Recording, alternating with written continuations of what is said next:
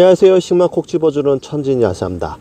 참나리 계절에요. 지금은 날이 한참 폈어요. 이제 이제 끝물 들어가고 있는 것 같습니다. 요거는 빨강색이야.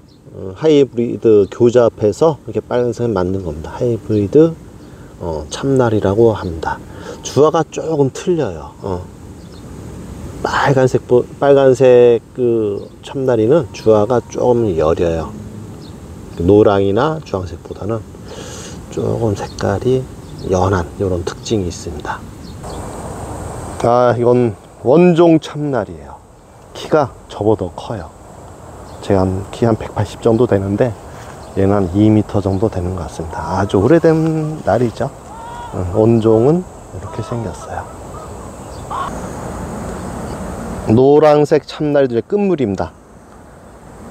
이제 요번 달 지나면 다 질 것 같아요, 꽃이.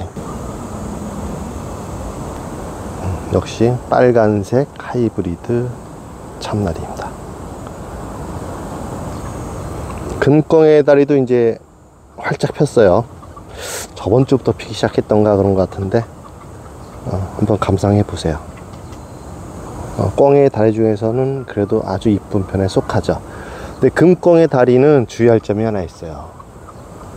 음, 양지, 반음지, 음지 다 잘 자라는데 얘네는 병충해가 있어요.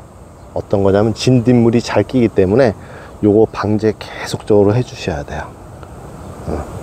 금꽁의 다리나 꽁의 다리는 대부분이 다 음, 진딧물이 잘 끼는 경향이 있어요. 이게 이름 보면 나물로 먹기 때문에 뭐 그런 것도 있지만 하여튼간 진딧물이 좋아하는 그런 종이에요.